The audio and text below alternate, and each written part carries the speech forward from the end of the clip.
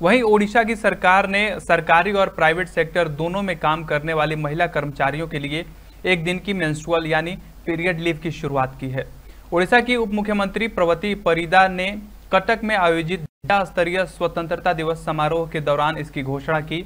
यह नीति जो तुरंत प्रभाव से लागू होगी, महिला कर्मचारियों को उनके मासिक धर्म के पहले या दूसरे दिन छुट्टी लेने की अनुमति देती है इस पहल का उद्देश्य महिलाओं को उनके स्वास्थ्य और कल्याण को अधिक प्रभावी ढंग से प्रबंधित करने में मदद करता है।